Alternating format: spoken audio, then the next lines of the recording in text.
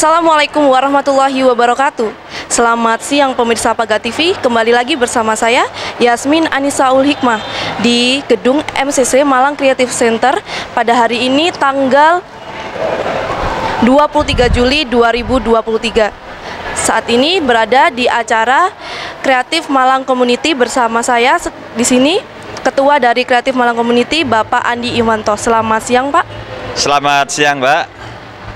Bisa diperkenalkan Pak, CMC itu apa, lalu berfokus dengan kegiatan apa?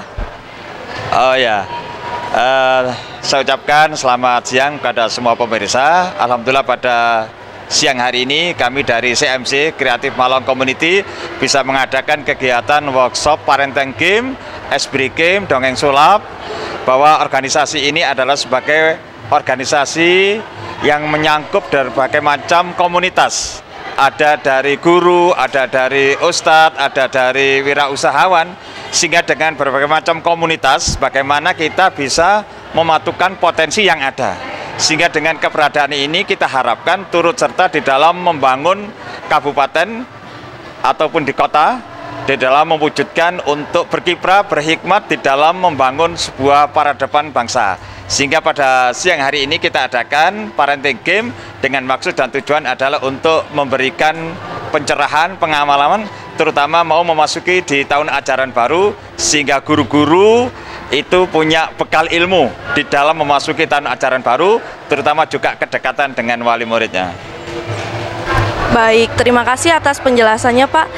Berarti hari ini diadakan parenting game dilaksanakan apakah dilaksanakan setiap tahun atau apa ada jadwal dari kegiatan CMC ini Pak? Oh ya, memang di program kita ini punya berbagai macam kegiatan gitu ya. Ada kegiatan keagamaan, salah satu yang kita adakan adalah pembinaan untuk guru-guru Al-Quran. Ini kita mengadakan kegiatan namanya bimbingan cara cepat mudah membaca Al-Quran. Ini yang bersifat keagamaan. Ada kegiatan yang bersifat sosial, eh, kita terlibat di dalam kegiatan-kegiatan sosial ketika nanti ada eh, bantuan untuk sosial, ya itu kita terlibat di sana. Kemudian ini adalah di bidang pendidikan.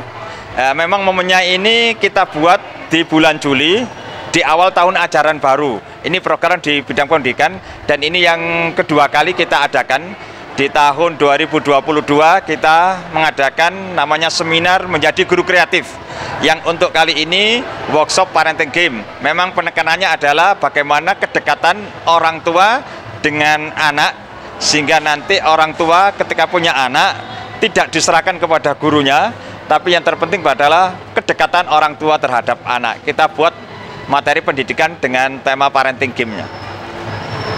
Dengan tujuan-tujuan tersebut berarti apakah ada klasifikasi dari anggota tertentu yang bisa daftar atau komunitas ini terbuka untuk umum Pak? Oh ya. Komunitas kita terbuka untuk umum. Siapa pun bisa masuk dengan profesi pekerjaan apa pun bisa. Karena kita ingin merangkul semua wadah yang ada.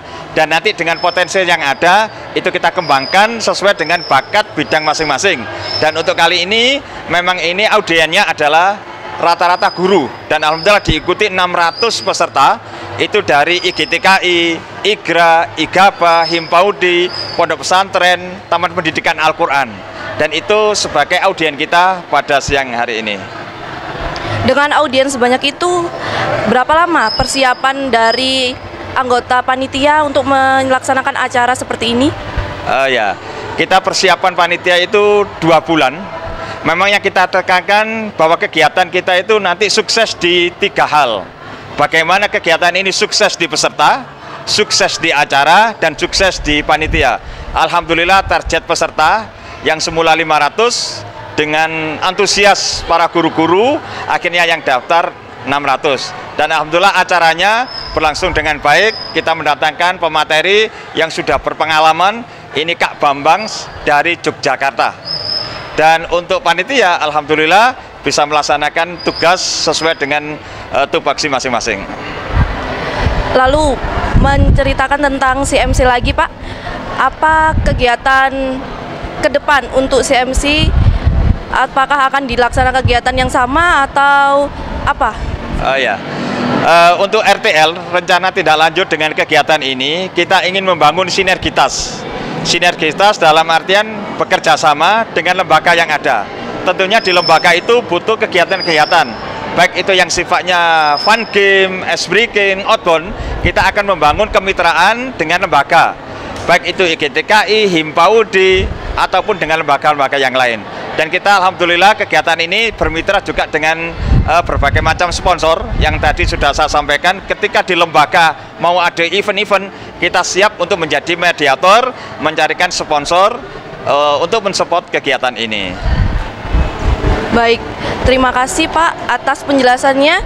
Semoga Kreatif Malang Community bisa menjangkit lagi anggota-anggota baru dan semakin besar di kemudian hari.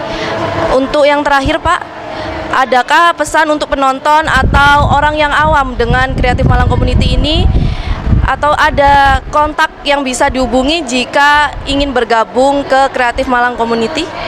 Oh ya, uh, bahwa Kreatif Malang Community memang organisasi yang masih muda ini ya, baru berdiri di tahun 2021 kemarin ini. Jadi usia kita masih dua tahun, kita berdiri di tanggal 5 Januari tahun 2021 dan kita membuka seluas-luasnya kepada semua jejaring yang ada, guru, profesional yang lain, monggo kita bisa bergabung di dalam organisasi ini dan nanti bisa menghubungi di kontak kami di nomor telepon 0821 3269 7145.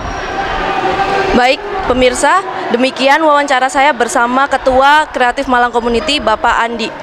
Demikian yang bisa saya sampaikan. Selamat siang. Wassalamualaikum warahmatullahi wabarakatuh.